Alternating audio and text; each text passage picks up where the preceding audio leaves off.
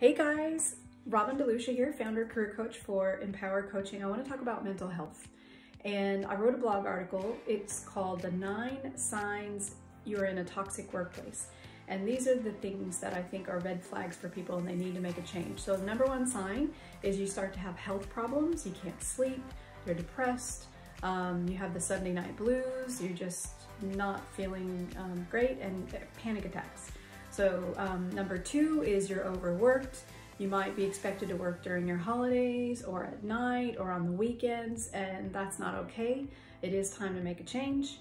Um, number three, your flexible work is frowned upon, especially if it's like a corporate or office environment and the um, employer doesn't trust you to work from home.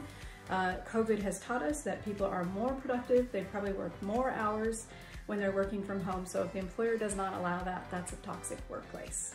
Stay tuned for more.